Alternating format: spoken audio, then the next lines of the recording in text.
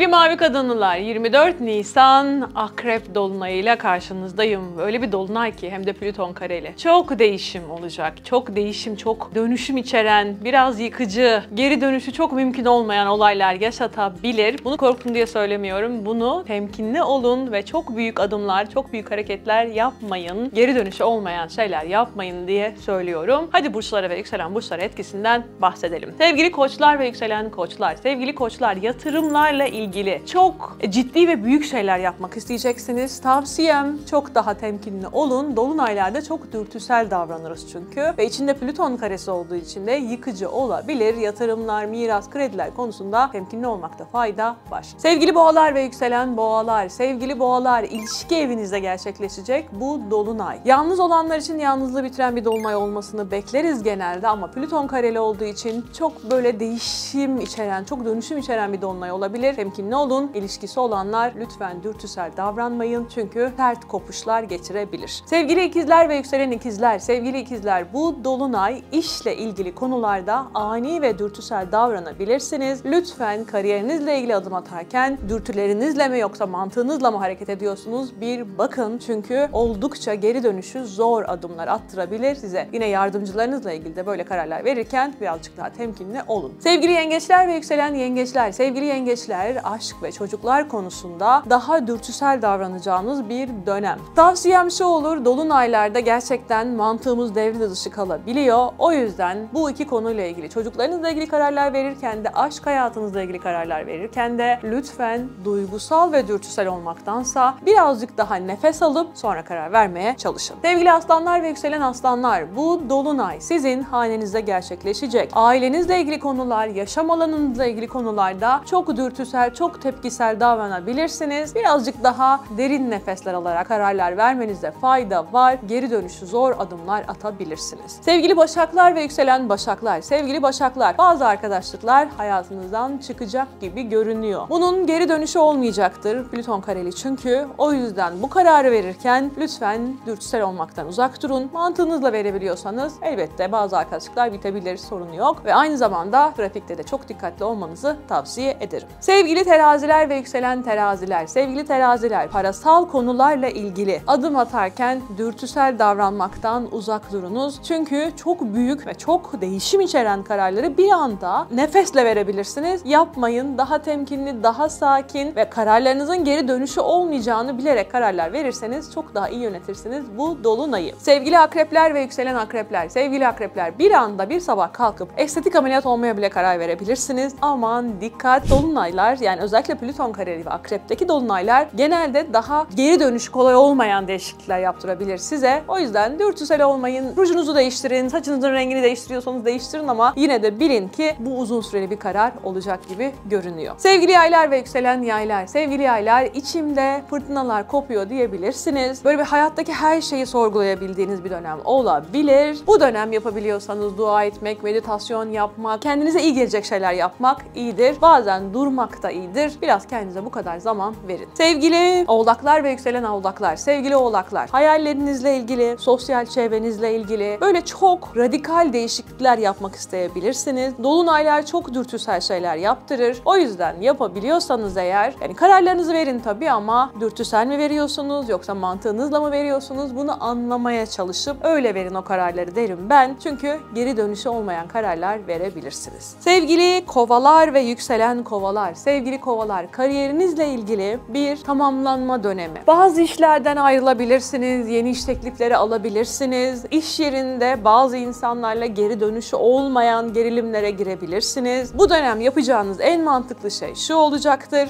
Daha sakin, daha mantıklı hareket etmek sizi bir sürü yanlış ve hatalı durumdan kurtarır. Lütfen dürtüsel davranmayın. Sevgili balıklar ve yükselen balıklar, sevgili balıklar bu dolunayda belki ülke değiştirmek isteyeceksiniz, seyahat planları yapacaksınız, belki hayatınızda gerçekten çok dönüştürücü deneyimlere katılmak isteyeceksiniz. Bilin ki dönüşümler ve bu kararların çok dönüşü olmayabilir. O yüzden daha mantıkla, daha temkinli adımlar atmak iyidir. Çünkü gerilim yüklü bir dolunay bu. Normalde çok kötü şeyler söylemek istemem ben ama dolunay olunca, içinde Plüto karesi olunca, akrepte olunca biraz sakin olmakta fayda var derim ben. Umarım işinize yarayan bir video olur. Beğenmeyi, abone olmayı ve kendinize iyi bakmayı unutmayın.